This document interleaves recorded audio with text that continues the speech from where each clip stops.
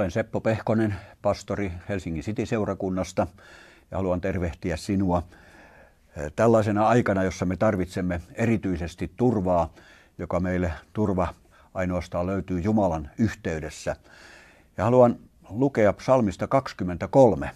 Se on monille hyvin tuttu psalmi, mutta useinkaan meidän ei kannata turvautua siihen, että me tiedämme jonkun tutun raamatun kohdan ja ajattelemme, että, että kyllähän tuo on jo kuultu, vaan meidän kannattaa pysähtyä siihen ja ihan miettiä sitä, että mitä se oikein meille sanoo. Kun tämä psalmi alkaa tällä tavalla, Davidin psalmi, että Herra on minun paimeneni, ei minulta mitään puutu. Niin mä jäin miettimään tätä, että, että meiltä ei siis mitään todella puutu kun me ajattelemme tällaisena aikana, jossa me olemme monien ahdistavien ajatuksien ympäröimänä, niin monta kertaa tulee ajatus se, että kyllähän minulta puuttuu sitä ja minulta puuttuu tätä, mutta kun Herra on meidän turvamme, niin silloin meiltä ei puutu mitään.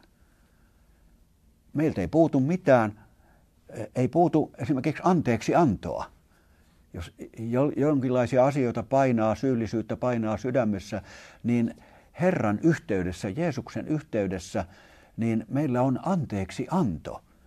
Jeesus on meidän syntiemme sovitus ja Jeesuksen anteeksi anto on meidän elämämme perusta.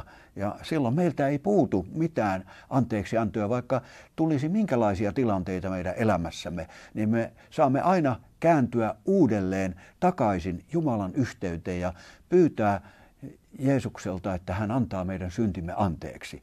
Me saamme kokea, että hänen edessään on paljon anteeksi antoa. Eikä meiltä myöskään puutu pal- myöskään sen suhteen, että, että, että rakkautta. Nimittäin kun Jumala on niin suuri ja rikas antaja, että kun hän antaa, niin hän ei anna sitä vain nipin napin pikkusen ripotellen, vaan kun hän vuodattaa rakkauttaan, niin hän antaa sitä ylen runsaasti. Eli meiltä ei puutu mitään eh, rakkauden suhteen. Kun hän tulee meidän elämäämme ja hän tuo meille sen turvallisen olon ja vuodattaa rakkautensa meidän sydämeemme. Raamattu sanoo selvästi, että Jumalan rakkaus on vuodatettu meidän sydämeemme pyhän hengen kautta.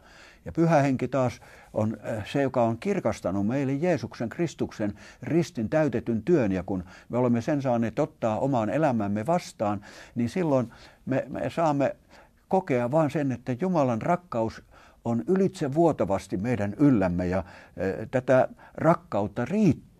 Sitä riittää, koska Jumala on rakkaus. Ja rakkaus ei ole siinä, että me ensin olisimme rakastaneet häntä, koska sitähän me emme ole tehneet. Me saatamme olla jopa kironneet ja, ja hylätä Jumalan. Olemme saattaneet kulkea ihan erillään Jumalasta, mutta Jumala on rakkaus ja hän rakkaudessaan vetää meitä puoleensa. Hän kutsuu meitä puoleensa ja hän haluaa, että meidän elämämme voi tulla hänen rakkautensa ympäröimiksi ja että me voimme vastata tähän hänen rakkautensa kutsuu meidän elämässämme. Ja me vastaamme siihen yksinkertaisesti sillä tavalla, että me suostumme siihen, että Jeesus saa tulla meidän elämäämme, meidän sisimpäämme hän haluaa tulla sinne ja sillä tavalla meidän sydämemme tulee täyteen Jumalan rakkautta.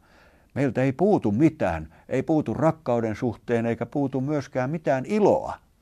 No voiko nyt niin olla, että eikö iloa puutu? Nyt kun on tämmöisiä vaikeita aikoja, niin tuntuu, että onko siinä mitään iloa. Mutta nyt meidän ilomme ei ole riippuvainen niistä ulkoisista olosuhteista, minkä keskellä me elämme. Voi olla vaikeutta talouksien suhteen, voi olla vaikeutta terveyden suhteen, voi olla ihmissuhteissa vaikeuksia ja tuntuu, että ei ole minkäänlaista iloa siinä tilanteessa. Mutta nyt meidän ilomme ei perustu siihen, että minkälaisissa olosuhteissa me elämme ja toimimme ja liikumme, vaan meidän ilomme perusta on siinä, mitä Jeesus on ja mitä hän on tehnyt meidän puolestamme. Jeesus on kuollut meidän syntiemme tähden. Jeesus on meidän parantajamme. Jeesus on tullut ja, ja sitä varten, että meillä olisi elämä ja yltäkylläisyys. Jeesus on tuon, tullut tuomaan meille todellisen yhteyden Jumalan kanssa, niin että Jumalasta tulee meille taivaan isä. Ja kun tämä yhteys on meille löytynyt, niin siihen kätkeytyy valtava ilo. Ja silloin meidän ilomme ei ole ulkoisissa asioissa, vaan meidän ilomme on hänessä, siis Herrassa, Jeesuksessa itsessä. Ja me voimme iloita aina Herrassa, niin kuin Raamattu sanoo, koska sitä ilohan ei meidän tarvi yrittää etsiä itsestämme, vaan tämä ilo on Herrassa. Eikä meiltä myöskään puutu mitään sitten sen rauhan suhteen, mikä meillä on. Nimittäin se rauha, jonka Jeesus meille antaa, niin se on yli ymmärryksen käyvä rauha. Se on syvä rauha, koska me olemme täysin saaneet varmuuden ja tietoisuuden siitä, että me meidän syntimme on anteeksi annettu ja me olemme päässeet sovintoon Jumalan kanssa, olemme päässeet yhteyteen Jumalan kanssa niin, että Jumalasta on tullut meidän taivaan isä. Olemme saaneet uudesti syntyä hänen lapsikseen uskomalla Jeesukseen, niin silloin meillä on myöskin sydämessä syvä rauha. Meillä on rauha Jumalan kanssa ja, ja sitten se merkitsee, että meillä on myöskin sitten rauha lähimmäistemme kanssa. Ja, ja vielä sitten voitaisiin sanoa kolmanneksikin, että meillä on rauha itsemme kanssa. Ja se on muuten hieno asia, että voi olla myöskin rauha itsensä kanssa. Nimittäin jotkut kamppailee koko aika oman sisäisen rikkinäisyytensä ja, ja vaikeuksiensa ongelmien kanssa, siis omassa sisäisessä maailmassa. Mutta kun Jeesus tulee meidän elämään ja Jeesus saa tuoda Jumalan rauhan sinne, niin tämä Jumalan rauha meidän sisällämme tuo myöskin sen, että meidän, meillä tulee rauha, sisäinen eheys itsemme kanssa, että me saamme elää sovussa itsemme kanssa. Ja silloin toteutuu se, mitä kun Jeesukselta kerran kysyttiin, että mikä on se suurin ja ensimmäinen käsky, niin vastaus oli hänen vastauksensa, että rakasta Herraa sinun Jumalasi yli kaiken, kaikesta sydämestäsi, kaikesta mielestä, kaikesta voimastasi, eh, kaikella mitä sinulla on ja lähimmäistäsi niin kuin itseäsi. Eli ensin me rakastamme Jumalaa ja sitten me saamme rakastaa myöskin lähimmäisiämme ja sitten me voimme myöskin huomata sen, että me eheydymme sisäisesti ja voimme rakastaa itseämme. Ja se on se, mitä Jumala tekee meissä työtään, koska kun hän on meidän turvamme, niin hän myöskin pitää huolen siitä, että meiltä ei puutu mitään. Ei puutu mitään hänen huolenpidossaan, hänen, hänen kaikessa siinä avussaan, mitä hän tuo meidän elämäämme. Tällä tavalla tämä psalmi 23 tässä alkaa ja sitten se jatkaa. Mä en sitä koko psalmia lue, mutta mä otan sieltä muutaman kohdan tähän vielä lisäksi. Siellä sanotaan, että hän virvoittaa minun sieluni. Eli tuo virvoittaminen oikeastaan se alkukielellä tarkoittaa sitä, että hän ennalleen asettaa.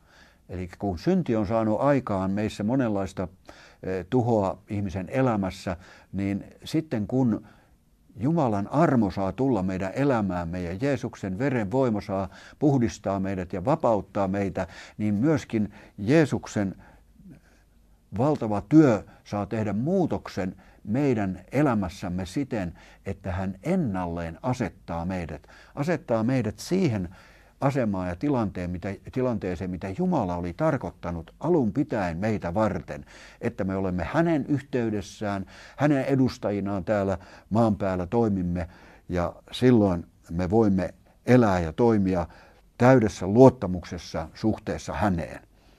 Ja sitten vaikka tulisi sellaisiakin tilanteita, niin kuin tässä sanotaan, että vaikka vaeltaisimme kuoleman varjon laaksossa, niin en pelkäisi mitään pahaa kerran mä pysähdyin ajattelemaan tätä kuoleman varjon laaksoa, niin, niin tota, mistä se varjo tulee? Varjohan tulee siitä, että valon edessä on joku este, joku este, joka sitten heijastaa sen varjon sinne. Ja nyt tällainen tilanne, kun on ahdistava tilanne, ympärillämme tapahtuu pahojakin asioita, niin se voi heittää sellaista varjoa, meidän elämäämme. Mutta meidän tulee tiedostaa se, että jos ei olisi sitä todellista valoa, taivaallista Jumalan kirkkautta, niin eihän olisi mitään varjoakaan sitten olemassa. Mutta kun se varjo on siinä sen tähden, että siellä on tämä väliaikainen este, se jokin asia, joka on haittaamassa ja estämässä, ja se heittää sen varjonsa. Mutta kun meidän turvamme on Jumalassa, niin silloin myöskin tämä väliaikainen tilanne, me tiedämme, että hän on siellä meidän kanssamme. Vaikka se olisi kuoleman varjo, vaikka se olisi sairauden pelko, vaikka se olisi mikä asia, joka eh, sillä tavalla ahdistaa, niin me tiedämme, että Jumala, Jeesus Kristus on meidän turvamme ja hän on se, joka, johon me saamme panna luottamuksemme ja turvamme. Ja niinpä tämä psalmin kirjoittaja täällä jatkaa ja sanoo, että sinä katat minulle pöydän minun vihollisteni silmien eteen. Eli voi olla sellainen tunne, että sielun vihollinen kiertää ympäri niin kuin kiljuva jaulopeura ja yrittää niellä meitä, saada meitä tuhoon, mutta kun me tiedämme, että meidän turvamme on Jumalassa, kun meidän luottamuksemme on hänessä, niin ei meidän tarvitse katsella koko aika, mitä vihollinen tekee, vaan me saamme katsoa Jeesukseen. Me saamme katsoa ja nauttia nauttia siitä juhlapöydästä, mitä hän meille antaa. Oman sanansa kautta hän antaa meille vahvaa ravintoa, hengellistä ravintoa. Oman sanansa kautta hän antaa meille vahvan turvan myöskin, että me saamme olla luottavaisesti hänen käsissään. Oman henkensä kautta hän myöskin vuodattaa henkensä läsnäoloa meidän elämäämme, että me saamme tässä juhlapöydässä, me saamme syödä ja juoda, eikä meidän tarvi kiinnittää huomiota siihen, mitä vihollinen ympärillämme yrittää pelotella ja saada aikaan. Ja sitten siellä sanottiin myöskin niin, että, että hän antaa meidän, voitelee meidän päämme ja antaa meidän maljamme olla ylitse vuotavainen. Tiedätkö, kun Jumala vuodattaa henkeänsä, hänen rakkautensa, kun vuotaa pyhän kautta meidän sisimpäämme, niin hän vuodattaa tätä läsnäoloansa, hyvyyttänsä ja täyteyttään. Hän vuodattaa sitä yltäkylläisesti meidän elämäämme, että me saamme itse tulla täytetyiksi Jumalan läsnäololla.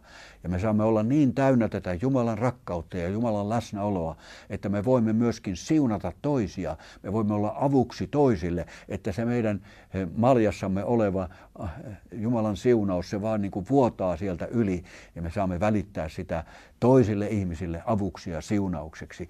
Tähän Jumala haluaa meitä jokaista viedä, että kun me saamme tulla hänen yhteyteensä, saamme täyttyä pyhällä hengellä hänen läsnäolossaan, niin me saamme myöskin kokea sen, että me voimme tulla voidelluiksi hänen hengellään. Ja sitten tämä päättyy, tämä psalmi, siihen ajatukseen, että, että tämä psalmin kirjoittaja kuvaa sitä, kuinka hän saa kaiken elinpäivänsä saa asua Herran huoneessa päiviensä loppuun asti. Ja mikä on tuo Herran huone, jossa hän saa asua?